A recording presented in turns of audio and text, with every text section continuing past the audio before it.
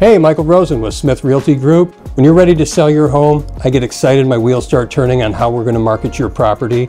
We work with an excellent company that does the best photography, videography, drone footage. We're going to capitalize on everything that your home has to offer. So when you are interviewing an agent to sell your home, just make sure that they are going to be using the best tools to market your property.